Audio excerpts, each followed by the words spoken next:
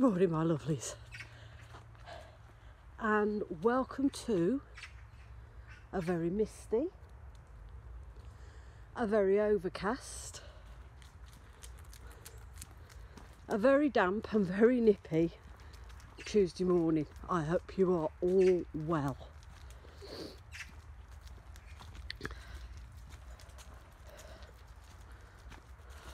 Well, we're on the last two days of November.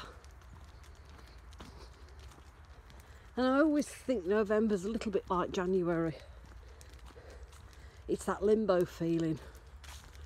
You know, where in January you you you sort of got the Christmas blues because you've just spent all of December celebrating Christmas and we're coming into January and it's all back to normal and everything's boring.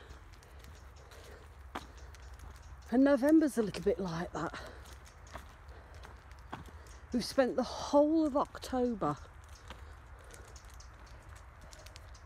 celebrating Samhain. You know, with decorating our homes and things and and then we have the big day arrive and if you're lucky the kids come round and do a bit of trick-or-treating. And we all celebrate it in our own little way.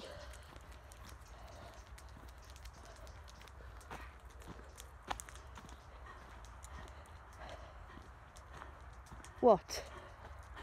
Bear with lovelies. Miss lou wants a sweetie. Right can you speak and say good morning? Speak. Oh, very quiet good morning there from Miss Lou. Come on then. Right, so where were we? Yeah. And now November comes along and we're all sort of stuck in this limbo of waiting for Christmas to arrive, waiting for December to turn up so that we can get the Christmas festivities underway. But before that, what's what uh, what did November have to offer us? Well,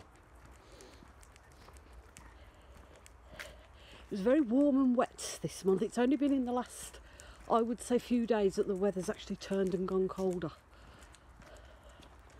It's been a very warm and wet month. But sometimes that's not a bad thing. We're now coming to the end of this flu stroke cold virus that we've all picked up and had at home.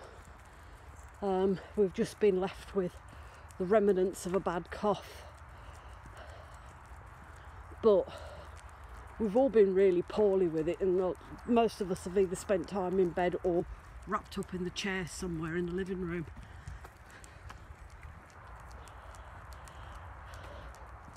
It wasn't nice, let's put it that way. It was horrid. And for those of you who are going through it at the moment, oh, feel your pain. It's not the nicest thing in the world to have, but it's over and done with, and we've all survived.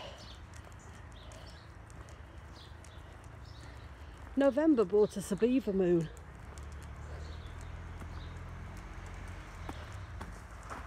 Beautiful beaver moon.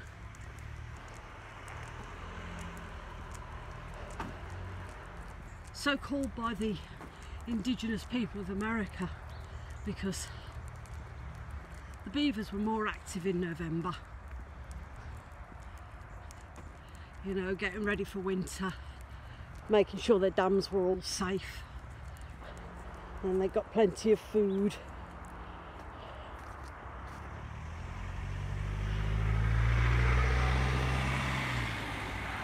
Come on, Lou.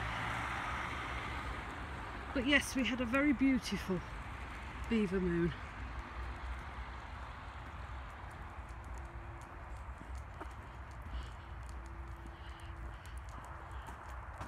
And Tamworth bought us their annual Christmas switch on.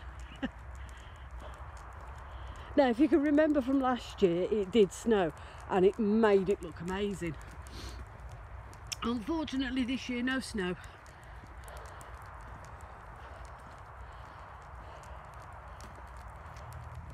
But the usual fun and festivities was had by all. Look at the mist on their lovelies. Isn't that beautiful? All that beautiful mist. I like it when mornings are like this. Okay, carry on. Um, yeah, so, you know, the usual festivities were out. There were fairground rides for the kids. There was a few um, craft stalls. Uh, lots of food vendors. Lots of drink vendors. Um, most of the shops were open. Um, and then we had Father Christmas walking round and Mickey and Minnie Mouse wandering around town. And then at five o'clock, after the hour's worth of entertainment they had on the stage, they all grouped together with a big countdown to push the plunger to turn the lights on in Tamworth. And now we know Christmas is well and truly here.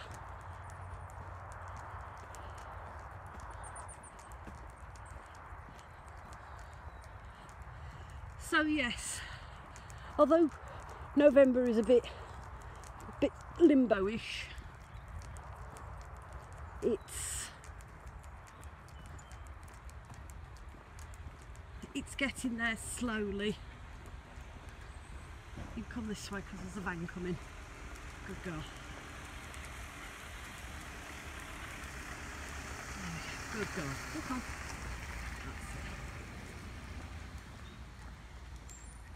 Um, as we've, you know, gone about our days and come on, good girl.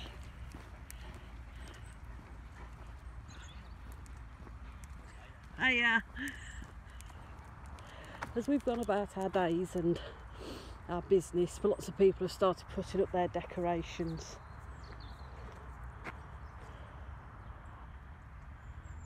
And though it will be sad to see November go,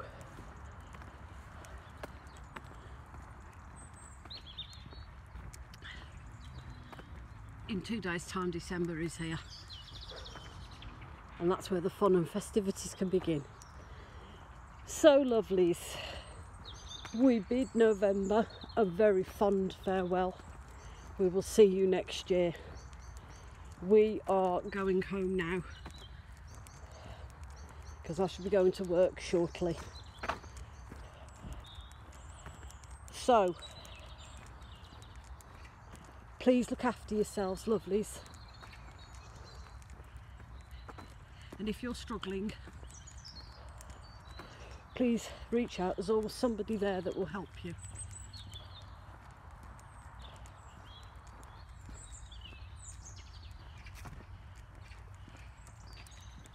Please look after one another.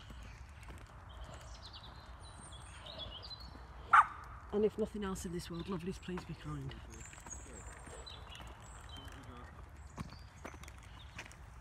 Morning! Come on.